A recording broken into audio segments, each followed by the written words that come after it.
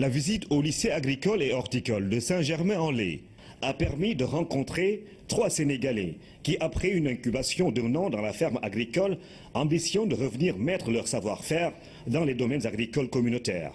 Alors, moi, j'ai eu la chance de, rentrer travailler au Sénégal comme expatrié pendant deux ans, euh, entre 2013 et 2014. Euh, j'ai découvert que l'agriculture était un excellent outil éducatif parce que les jeunes en question étaient accompagnés, étaient accueillis dans des familles, dans des villages d'accueil où l'agriculture était la principale activité. Et donc, j'ai vu ces jeunes se transformer au contact de la terre.